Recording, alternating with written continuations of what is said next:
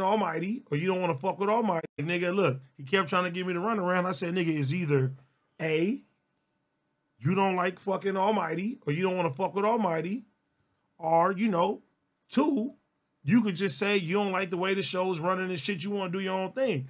But he wouldn't give me an answer. So in, in comes Gina walks in, and then we start talking about all the shit.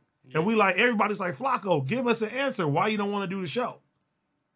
And then Gina revealed that Almighty called her and said, Yeah, Flakko said, you know, don't put don't let them put Gina off on you. So Wow. once that happened, Flakko said, Suspect's lying. He's lying. I never said that. Uh-huh. Gina called suspect and said, Did he say that? And suspect said on his on his children, you feel me? That he said that shit. So still today, tonight, Flakko was, you know, saying that he didn't say that shit. You know what I'm saying? So it sounds like he didn't care for either one of them. I'm gonna keep it real. What I really think happened.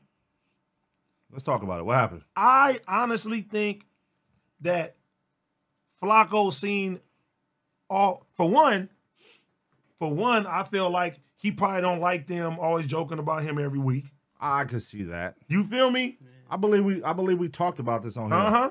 Them niggas talk about that nigga a lot. Every Monday, it kind of seems like The whole you office. know they against they against they they be on his head. Yeah. You know what I'm saying? So I can see if you want to do a show where you're talking about music and the shit that you like, you don't want to be clowned every fucking week. Right. I can see that. But if that's the case, then say that. I think. I think that might be it. Then no, but then two, part of me thinks that he's seen Almighty what he did to Kelpie. You think I scared him? I think that kind of spooked my boy. He's like nine times bigger than. It don't matter. I think that he don't. He think he probably thinks that Almighty is a wild card. Might take off on him. Might take off on him one day, or he he may don't even you know want a co-host that's gonna do something like that, and then see for instance that he wasn't on the show for like two weeks. He probably needs something more dependable. You know what I'm saying? Mm. But I honestly think that he think Almighty might take off on that nigga. Or was he scared of retaliation? Meaning. Meaning what? Meaning thinking somebody gonna come up there and do something behind Kelpie.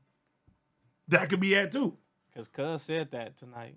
But He said that. Yep. But say? but He was like, it, it was gonna be some retaliation. And it was like, uh, Almighty said, I ain't got no threats. What you talking about? He like, it, it's, it's, it's being said on the street. It's being said. Oh, it's gonna be some retaliation on That's Almighty what that's what he said. over Kelpie. Right. I highly doubt it. But I but I heard I heard